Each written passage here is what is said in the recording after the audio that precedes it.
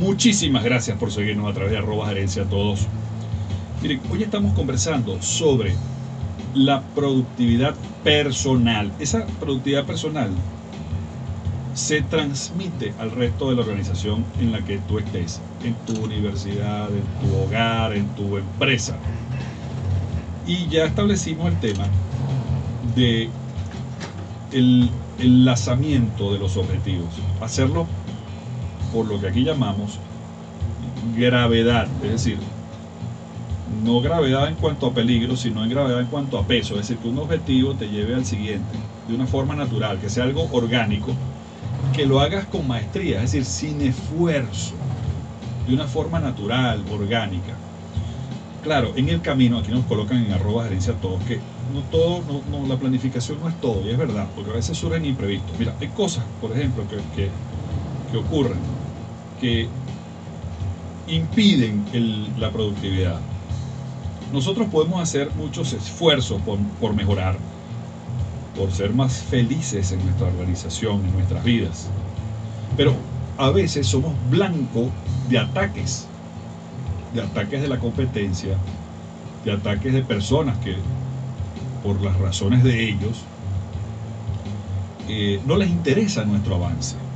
Bueno, pues eso es verdad, pero tú tienes que seguir trabajando. Mira, la manera más eficaz de resolver ese tipo de situaciones y de manejar a esas personas y de vencerlas eh, de una manera radical es prosperar. Es decir, si a ti te atacan, si a ti te impiden alcanzar un objetivo, que eso va a ocurrir, eso es normal.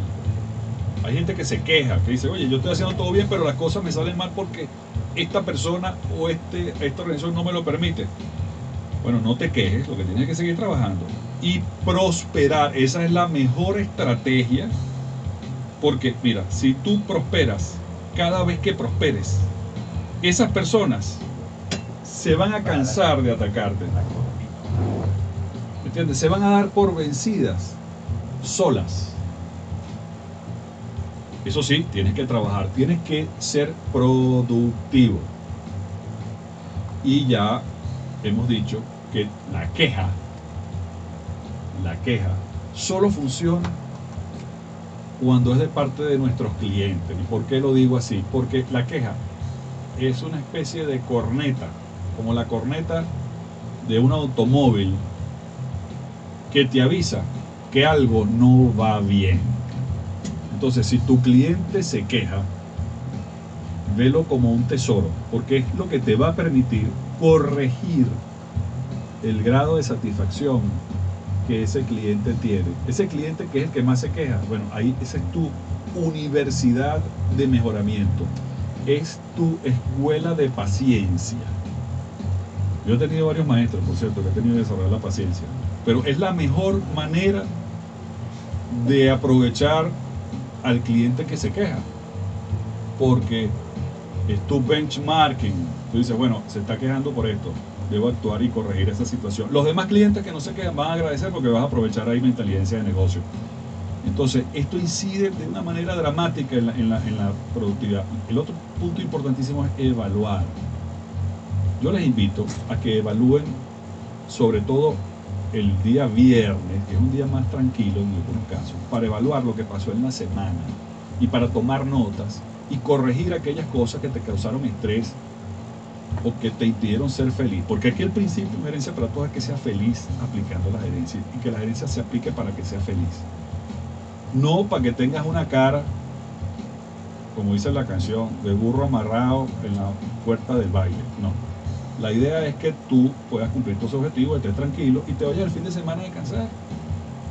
Porque trabajar el fin de semana, no soy muy amigo de eso. El otro tema que incide muchísimo en la productividad son los interruptores o las interrupciones. Te impiden ser productivo. Hay que aprender a decir que no. Tú no puedes estar todo el tiempo disponible para todo el mundo pero sí tienes que buscar ocasiones para que tú seas accesible a todo el mundo. Ahora, no seas tú tampoco interruptor de otros. ser productivo empieza por uno mismo, respetando el tiempo de los demás. ¿Ok? Entonces, hoy es martes. Ayer, por ejemplo, que, que fue el lunes, por supuesto, es el día del drama. Porque es el primer día de la semana. Todo el mundo quiere hacer todo el lunes. Todo el mundo está apurado. Y hay mucha gente que hace estatus el lunes. Se reúnen todos y cierran a todo el mundo en una reunión.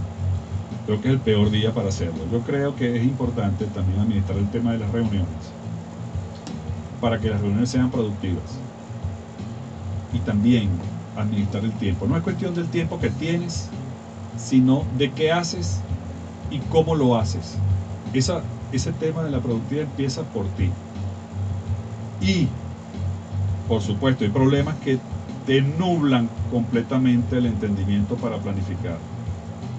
Y hay que escapar de esos problemas. Pero escapar productivamente. ¿Cuál es la mejor manera de escapar de un problema? Solucionarlo. Solucionalo. Si no, va a estar ahí gravitando. Y fíjate, si un problema se resiste, porque hay problemas que se resisten, no se dejan agarrar.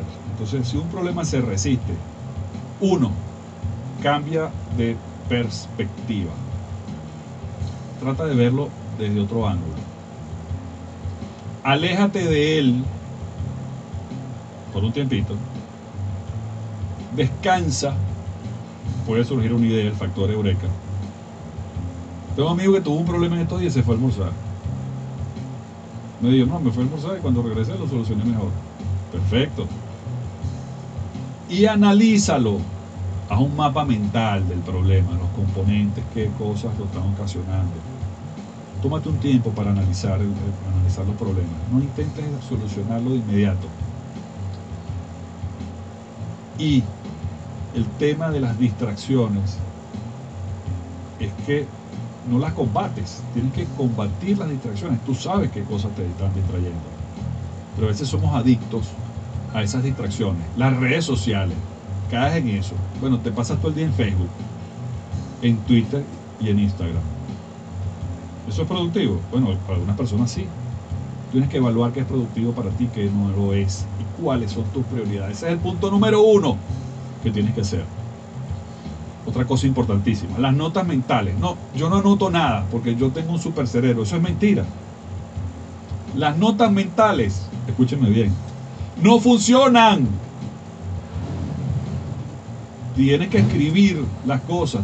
Recoge las cosas en un papel o en digital. Tu organización lo va a agradecer.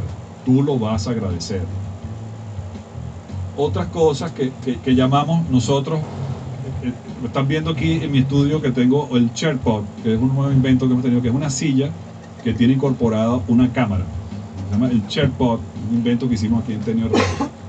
Fíjense, hay unas cosas que yo denomino los virus mentales. Los virus mentales. Tienes que meterte un antivirus mental. Por ejemplo, un virus mental. Decir, me falta tiempo. ¿Tú sabes qué significa cuando tú dices me falta tiempo? Lo que significa es que elegiste mal. Elegiste mal la organización de tu tiempo. Por eso caes en el virus mental de el me falta tiempo. Significa que has elegido mal. Es un símbolo de que estás planificando mal. Entonces, no puedes hacer todo ni decirle sí a todo. Elige qué es lo que vas a hacer hoy martes. Hoy martes, elige qué vas a hacer. Elige qué vas a hacer el miércoles, el jueves, el viernes, qué vas a hacer el fin de semana, qué vas a hacer el lunes, el próximo lunes, el martes, el miércoles. Y una cosa muy importante para irnos a la pausa. Simplifica, simplifica, simplifica. Ya regresamos en Gerencia para Todos.